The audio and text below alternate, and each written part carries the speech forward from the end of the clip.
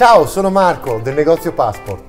Oggi ragazzi vi voglio introdurre a un video in cui parleremo di scarpe chiodate, partendo dalle scarpe polivalenti ed arrivando a spiegare quelle che sono le caratteristiche essenziali e fondamentali delle scarpe che sono specifiche e studiate per le singole discipline. Come sempre però, prima di tutto vi invito a iscrivervi al nostro canale YouTube e a seguirci sui nostri canali social, Instagram e Facebook.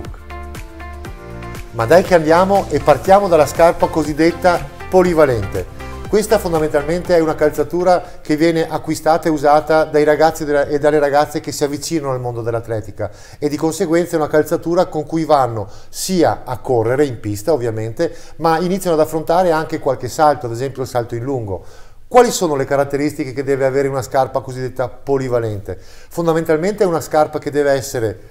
comoda come calzata, deve avere un po' di ammortizzazione per preservare i tendini dei nostri giovani atleti perché sono in fase di crescita. Ovviamente essendo una scarpa chiodata avrà sull'avampiede una piastra dove vengono alloggiati i vari, i vari chiodini che servono appunto per fare l'attività e quindi diciamo che una scarpa polivalente è una calzatura con cui si possono affrontare tutte le discipline, Ovvio che affrontare tutte le discipline con questo tipo di scarpa non si avranno i migliori risultati perché dopo andremo a vedere quali sono le caratteristiche delle calzature per le singole discipline, ma per un pubblico giovane e appunto come si diceva prima in fase di crescita è fondamentale avere una calzatura che innanzitutto preservi tendini e piede che abitui il ragazzo e la ragazza a usare una scarpa chiodata perché è ovvio che la sensazione di una scarpa chiodata è diversa rispetto a una scarpa normale da corsa e che di conseguenza sia una calzatura che è propedeutica in un secondo momento ad affrontare quelle che sono le discipline specifiche che si andranno ad, ad affrontare. Partendo appunto dalla calzatura polivalente, in questo caso abbiamo una scarpa Adidas, passiamo per restare nelle discipline in pista a una scarpa tipo questo modello di Nike. In questo caso abbiamo una scarpa dedicata al mezzo fondo di lunga distanza, quindi 5 o 10 mm in pista. È una calzatura che allo stesso tempo può essere tranquillamente usata anche per fare campestre.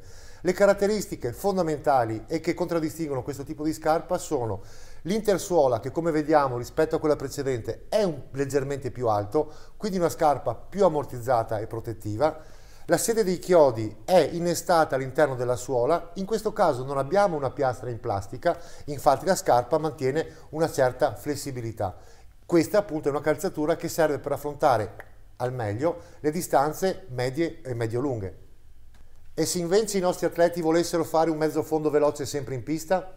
allora la scelta potrebbe ricadere su un modello tipo questo che tengo in mano adesso, stiamo parlando del modello Zoom Mamba 5 di Nike, questa è una calzatura per il mezzo fondo veloce, quindi 800, 1500 e 3000 metri, 3000 siepi ovviamente. In questo caso abbiamo una scarpa molto leggera, abbiamo una scarpa con una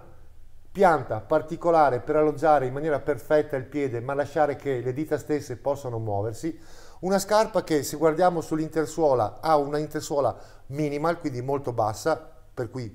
molto leggera la scarpa ma per ovvi motivi poco ammortizzata, allo stesso tempo però abbiamo una calzatura che mantiene una piastra in plastica sull'avampiede che è prolungata anche sulla fase del mesopiede e questo serve appunto perché, perché nel mezzofondo veloce si cerca molto il ritmo, quindi una, sono delle, delle competizioni dove il piede lavora sempre molto in spinta e si cerca appunto reattività, leggerezza, comfort di calzata e in maniera specifica per quanto riguarda i 3000 siepi abbiamo una scarpa con una tomaia particolarmente leggera che si asciuga rapidamente visto che ci sono anche le barriere con l'acqua da affrontare. Sempre rimanendo su calzature da mezzo fondo, passerei adesso a una chicca, a una novità. In questo caso abbiamo Adidas Adizero Ambition, come vediamo una calzatura molto particolare perché quello che lo contraddistingue e la distingue rispetto alla Zoom Mamba è la presenza di una piastra, anzi di un'intersuola molto importante, sia sulla parte del tallone e anche sull'avampiede.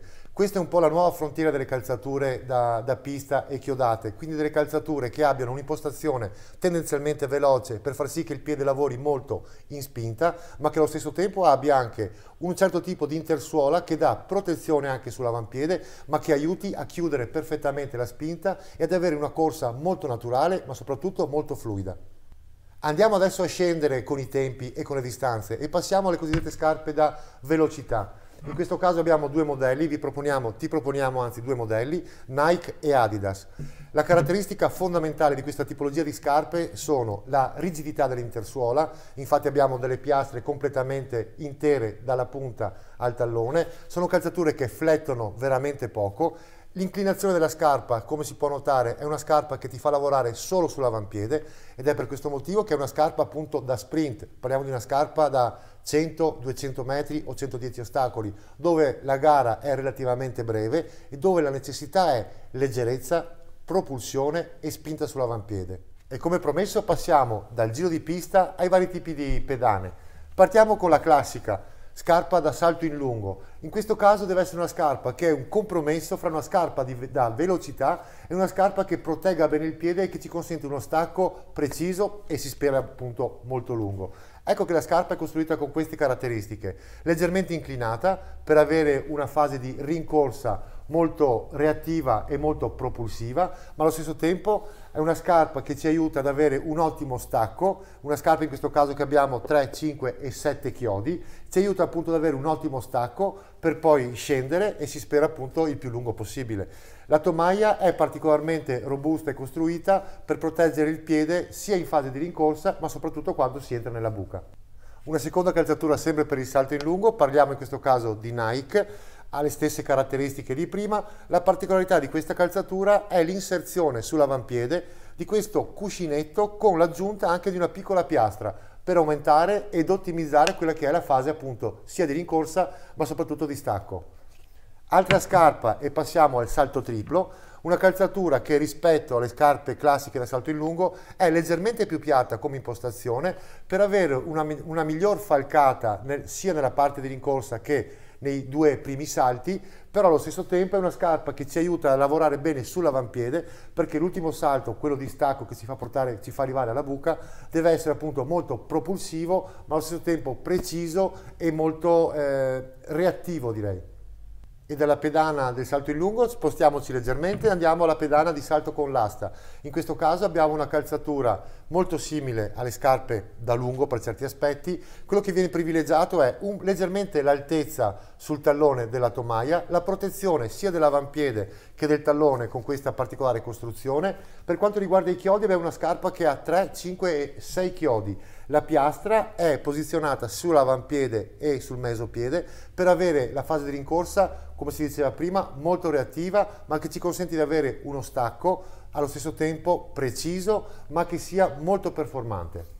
Dopodiché passiamo a una calzatura dedicata al salto in alto. In questo caso la prima caratteristica che, che salta subito all'occhio è che a vederla sembra una calzatura da running tradizionale come quelle che si trovano per andare a correre e che appunto non sono chiodate. La caratteristica però, eccola qua, la vediamo, una piastra tutta lunghezza, quindi una scarpa abbastanza rigida se vogliamo in fase di flessione, ma che serve per ottimizzare la fase di rincorsa e di slancio. La, part la particolarità di queste calzature è il posizionamento dei chiodi sia sul tallone che sull'avampiede. In questo caso abbiamo una calzatura che è diciamo universale, nel senso che non è studiata per stacco sinistro o stacco destro. Sul mercato però possono esistere delle calzature che sono specifiche per stacco sinistro oppure stacco destro. In questo caso, come detto, è universale.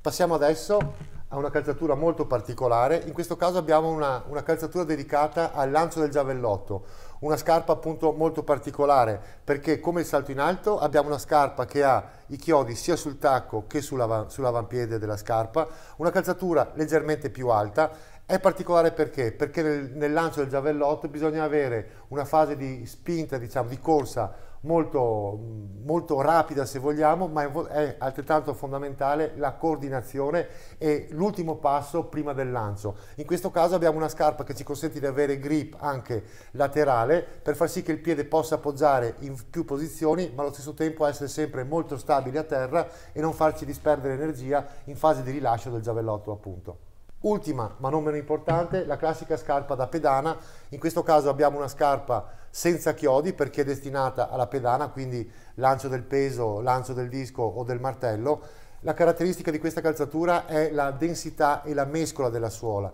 una mescola che deve darci grip, trazione e facilità di rotazione per far sì che il coordinamento del corpo con il lancio dell'oggetto, quindi che sia il peso, il disco e quant'altro, sia coordinato e non ci sia dispersione di energia dalla fase di rotazione alla fase di lancio. Per questo vengono utilizzate questo tipo di mescole molto particolari che ci danno il massimo di performance quando andiamo sulla pedana appunto del lancio. Bene ragazzi, spero innanzitutto che questo video vi sia piaciuto, ma soprattutto che sia stato esaustivo e chiarificatore per i vostri eventuali dubbi. Anzi, se avete qualche dubbio o domanda, i commenti qui sotto sono sempre a vostra disposizione. Come sempre vi invitiamo a venirci a trovare nei nostri negozi, a Busche o a Signoressa e se abitate lontano perché no, anche sul nostro store online, sempre ben rifornito anche di scarpe chiodate che si chiama www.passport.it. Ciao!